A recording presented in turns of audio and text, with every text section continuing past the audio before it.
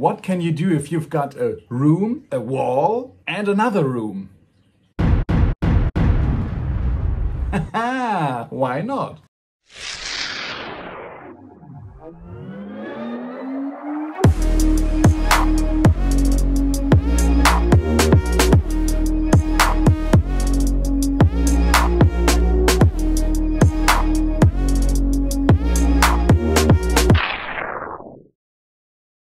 Hello and welcome to Sea Friendly Reef. Maybe for some of you it's very interesting to see the difficulties while building a reef tank into a wall. I visited Dennis who did exactly that. So he sent me some pictures of the building process and we can see the end result of the reef tank system. Live it up, live it up, live it up,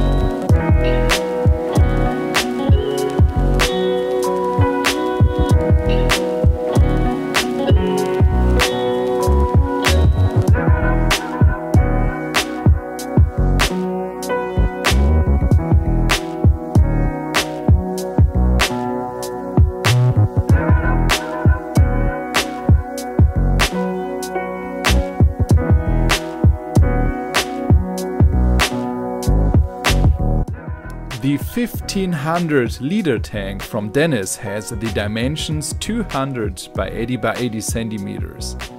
The tank has now been standing for about a half a year and is operated with a lime reactor.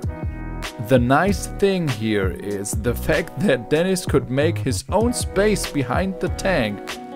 The interior is extremely clean, so it makes sense to adapt the aquarium as well. Since the room design is very wide, the tank really stands out. This is a cool effect. Dennis has mixed the tank colorfully. We find some LPS corals, SPS and even soft corals next to some nice fish like tangs and chromis. The lighting consists of an ATI hybrid, so T5 and LED mixed in one lamp. And above the Zoas we find an ATI Sirius X2.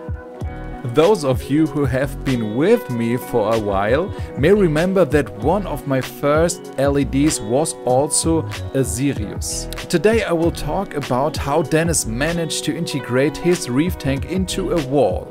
You have to know exactly about the statics in the house, so it is always the best to ask your architect.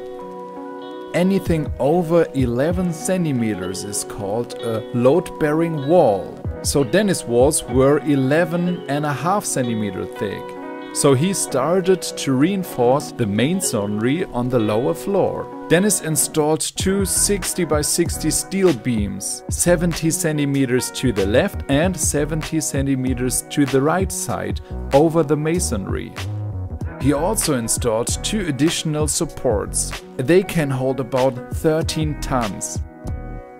After that, upstairs could be started now. The cutout of the tank was removed. One of the most important things is to fix a beam about the aquarium. This prevents the wall from sliding into the tank from above.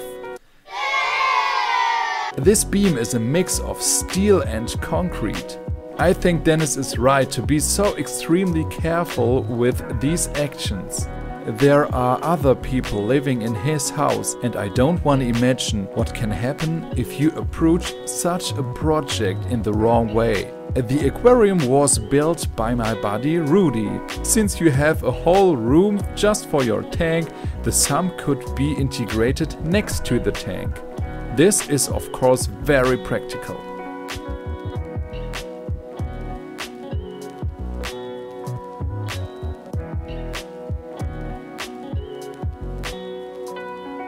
On all our reef tank tours I meet so many awesome peoples with so fantastic stories behind the hobby and behind their tanks. In this case, Dennis told me a very sad story because a friend of him died and one of his last wishes was uh, that Dennis take his reef tank and uh, yeah got into the hobby and Dennis did not have any plan about that so his challenge was to get into this topic and get some knowledge about it. And yes, he did a very great job in my opinion.